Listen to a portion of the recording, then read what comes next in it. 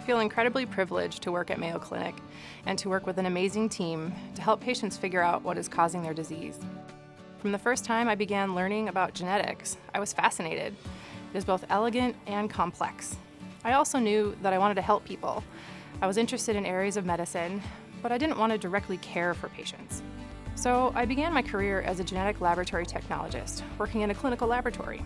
Today, I'm a genetic scientist. I have a PhD in biomedical science, and I study the genetics of patients who have a medical condition that we think is caused by a problem with one of their genes in their DNA.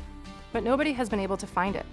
So I get to look at the DNA from these individuals to try and figure it out using the newest tests and tools available. For each of the patients and families, I'm essentially working a great big puzzle. And when I find that missing piece, these families get an answer about their illness and can start focusing on treatment. If you like puzzles and you like science and medicine, think about a career in genetics research or laboratory genetics. I have found it to be an exciting and rewarding area to work in.